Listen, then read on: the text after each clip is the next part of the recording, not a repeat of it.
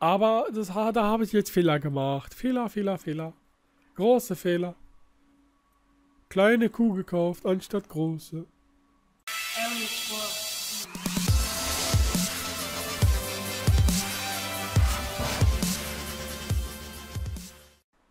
Hallo, da ist der Gusor mit der zweiten Folge des Pushes. Ähm, ich bin noch nicht weiter, also das ist ein direkter Cut zu der Folge von gestern. Und, oder bringe ich die Zeit gleich noch raus? Es könnte auch sein, dass ich sie am gleichen Tag rausbringe. Mal gucken. Ich weiß es echt noch nicht. So, wie gesagt, gestern hatte ich ja gesagt, oder heute, je nachdem, äh, Luftfeger war ja fertig, den habe ich ja nach dargestellt und dann war das Shiggy. Und wir haben schon 63k DLX. Freu, freu. So. Hm, nett. Wo ist sein, da ist sein DLX.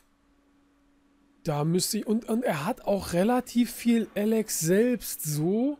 Ich meine, schade ist natürlich, dass ich meinen King nicht bei habe. Ich, ich würde gerne hier mal noch mal kurz, einfach mal kurz klären, ob ich hier noch irgendwo, nö, da sind nicht mal irgendwelche Bomben, die mir irgendwie das Leben schwer machen könnten. Dann würde ich jetzt einfach mal, ah, da ist eine CB. Okay, die CB macht mir das Leben schwer, könnte zumindest so sein. Wollen wir natürlich äh, direkt äh, ein bisschen Prophylaxe betreiben. Und die natürlich gleich erstmal wegsnetzeln. So. Zack, ja, okay, läuft. Also drinne bin ich soweit erstmal. Ich habe auch noch fünf Mauerbrecherchen, also das sollte ganz gut laufen. Die Riesen sind, denke ich mal, noch nicht so ganz müde. Das passt. Ja, genau, in den, in den Bereich wollte ich sie gerne haben. So, Alex machen wir da gerade klar. Passt. Sehr geil. Also hier also hier muss ich wirklich mal ein großes Lob an meine Freunde, die Mauerbrecher, geben. Das hat gut geklappt. Die haben sich gut durchgearbeitet. Jetzt sollten natürlich auch meine Goblins ein bisschen besser laufen. Ja, genau, da lauft ihr nämlich hin. Da möchte es nämlich der Gusor hinhaben. Klingt komisch, ist aber so. Ja, sehr geil. So, jetzt ist aber auch schon fast alle, würde ich sagen. Ja, genau, hier noch ein bisschen was vom Alex. Ja, ein bisschen ist so, egal. Aber wir haben das gesamte Dunkle, passt. Die Truppen haben jetzt auch nicht so megamäßig viel gekostet, weil wir müssen ja überlegen, wir haben keinen Heal gesetzt. Das hat auch nochmal äh, einiges an, äh, an Alex gespart auf jeden Fall. Und auch nicht geblitzt natürlich. Was wie gesagt, also auf der Suche nach dem Dunklen ist es halt wirklich mit dem Blitz eine coole Sache.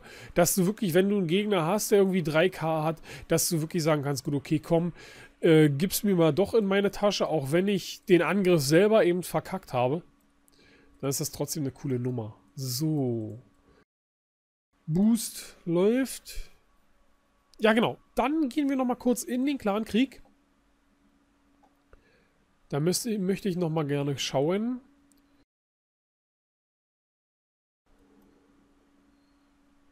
Kodi 62. Ich, ich, ich würde gerne nochmal...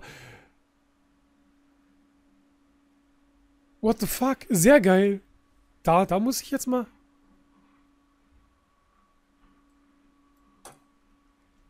Ja, er hat garantiert einen Connection Lost gehabt. Garantiert. Oh, da wird sich einer richtig geärgert haben.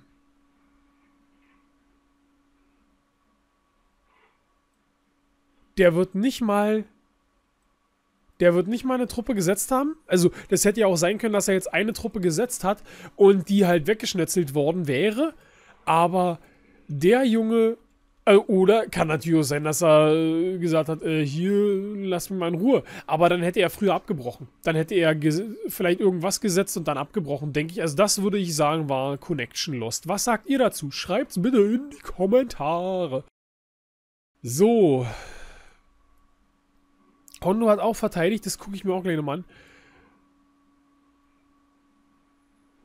Vom zweiten auf den vierten, okay. Äh, da hat sich einer gedacht, ich nenne mich Paul Walker. Paul Walker bin ich jetzt mal. Ich, ich will mich jetzt nicht zu sehr aus dem Fenster lehnen, aber wird Paul Walker nicht anders geschrieben? Ich würde nämlich sagen, der wird Paul. Ja, genau. Ja, aber egal. Läuft bei dir, Paul. ähm, So. Da hat Hondo verkackt. Ich guck mal gerade noch, was hier sonst noch so geht. Also wie gesagt, die äh, Verteidigung war natürlich episch. Ich guck mal noch mal rein. Hier haben wir... Oh ja, doch, das würde ich gerne mal gucken.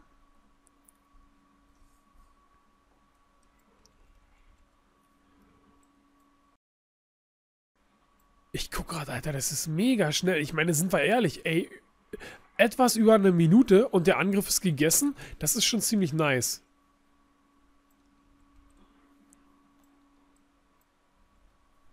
Hier sehen wir, wie die äh, Lava-Hunde tanken. Ohne Ende, auf jeden Fall. Ja, der Luftfeger war natürlich auch richtig geil gemacht.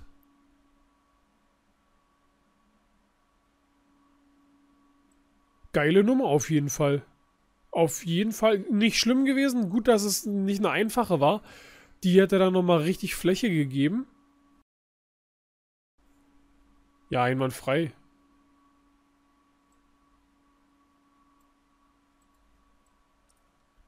Ich meine, richtig schön souverän. Also, das kann man auf jeden Fall noch als Overkill äh, betiteln. Auf jeden Fall, da ist noch einiges übrig. Das war ein richtig schöner Overkill und nicht mal die Hen äh, Helden verwendet. Richtig krass. Ja, das war Dekadenz pur vom Hondo. Ich sag mal, ich kann das und ich mach das mal. Zack. Lasst mich mal machen. Nee, richtig geil, auf jeden Fall. So, jetzt sind wir gleich am Start wieder. Mit dem King oder ohne ist vollkommen egal. Geplättet wird der Gegner trotzdem. Hoffe ich. Zumindest. Wie gesagt, Alex-mäßig ist jetzt egal. Da bin ich ganz gechillt. Und ich gucke auch, wenn ich jetzt sehe, dass ich jetzt eben das D-Alex übelst am Farm bin und schon relativ weit oben bin. Also wenn ich jetzt nicht irgendwie 10k oder sowas habe, sondern wirklich ein bisschen mehr. In dem Fall kann man mir ja wirklich was klauen. Gucken wir nochmal kurz in eine Verteidigung rein. Hier jetzt, sah jetzt mal, zack. Dann seht ihr ja gleich, was man mir klauen könnte. Und das ist ja auch schon ein bisschen was. Ich meine, zweieinhalb, klar, vier wäre mehr, aber egal. Äh, zweieinhalb ist auch schon ein bisschen was. Und da muss man halt, schon gucken, was mache ich da? Beziehungsweise, wenn ich da jetzt zum Beispiel nochmal 3 Millionen zusätzlich am Alex zu liegen habe, ist die Wahrscheinlichkeit natürlich viel höher, dass sich einer denkt, ey, okay, ich könnte von dem einfach mal 2,5k äh, D-Alex grabben und dann kriege ich noch irgendwie, was weiß ich, 300k vom Alex nice. Wenn der aber sieht, ich krieg nur 40k vom Alex und die 2,5k kriege ich vielleicht gar nicht so hundertprozentig, dann lässt er das eventuell und snackt mir nur mein Rathaus. Aber ich glaube, Farmen brauche ich euch nicht erklären. Das sollte ganz gut laufen. Aber wenn ich das gerade sehe, dass der Hondo mit einem Helden noch viel weiter ist als ich, da habe ich ja wieder Lust, ey. Da habe ich ja wieder richtig Lust. Da hat der mir wieder mal richtig eine Kugel gegeben könnte man aber zu wenig DLX. Ansonsten hätte man den echt nehmen können. Nett. Ein K.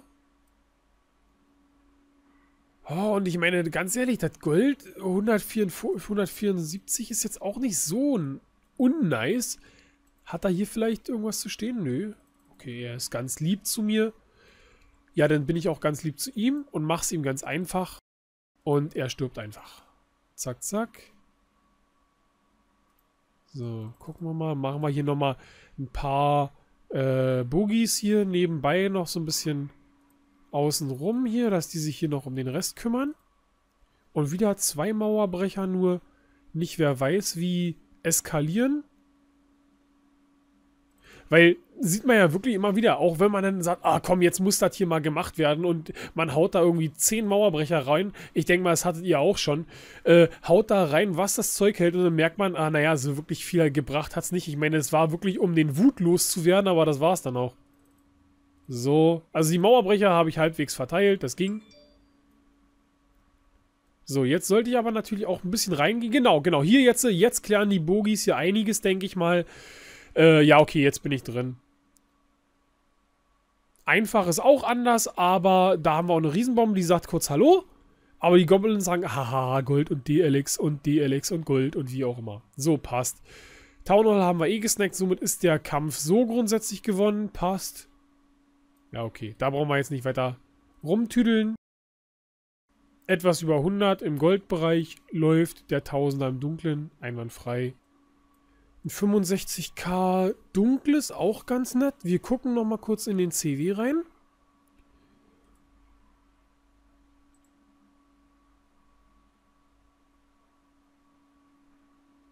Ah, hier. Aber guck mal, das sieht man natürlich auch. Ich meine, wir haben immerhin fünfter Platz gegen dritter. Da wird es dann schon echt schwierig. Besonders, wir, wir gucken mal, ob es rathausmäßig sich auch geändert hat.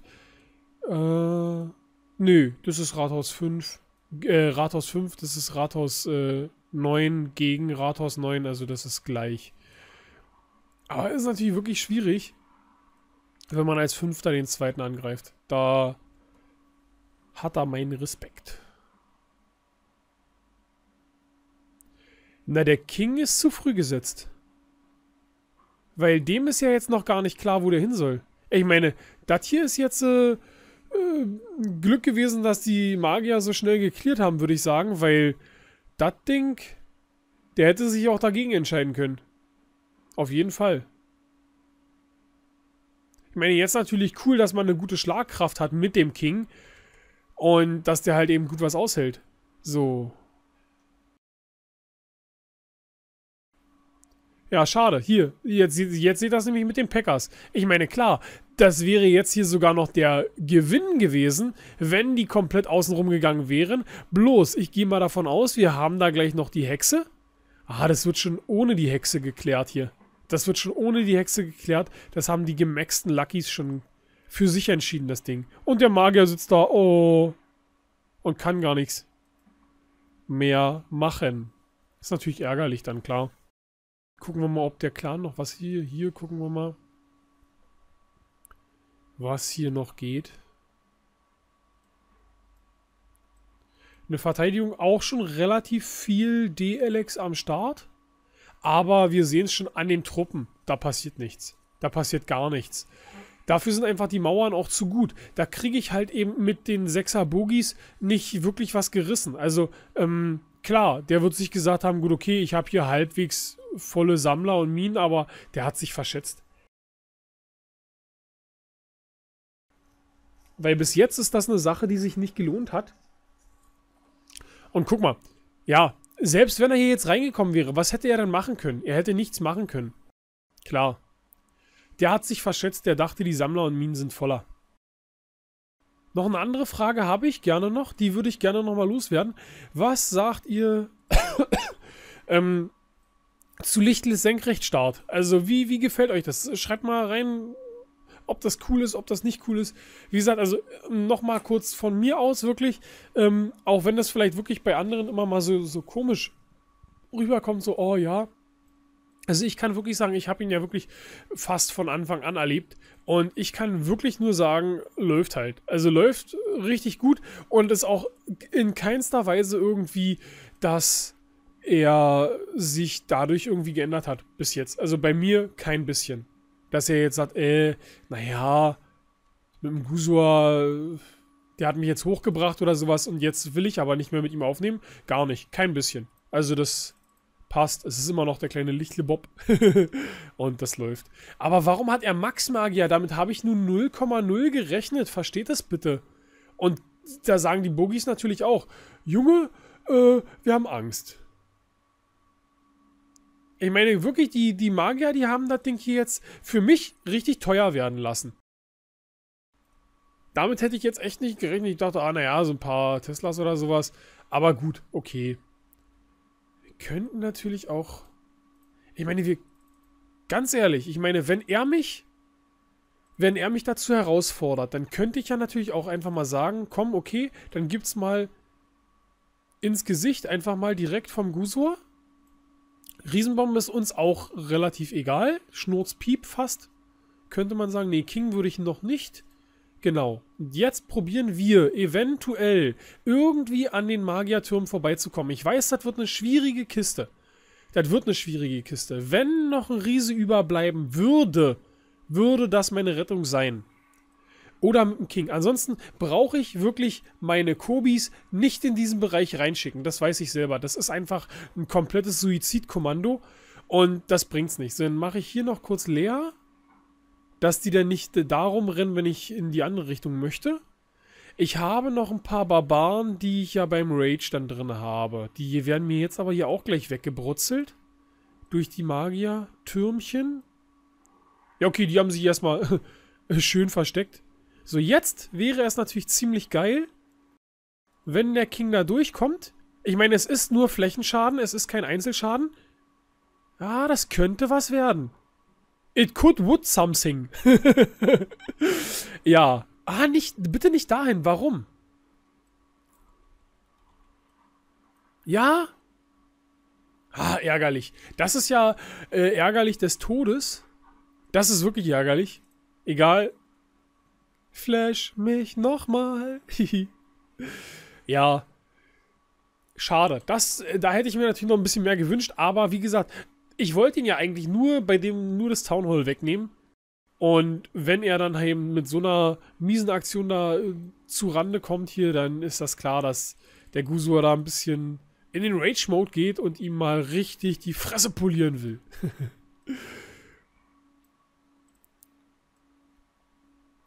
so, 10. 10. Also mit einer Verteilung Mauerbrecher passt meiner Meinung nach komplett. Das geht ganz gut auf immer. Aber das, da habe ich jetzt Fehler gemacht. Fehler, Fehler, Fehler. Große Fehler. Kleine Kuh gekauft, anstatt große. So. Zack. Passt. 65k. Das war's für heute, Leute. Bis dann.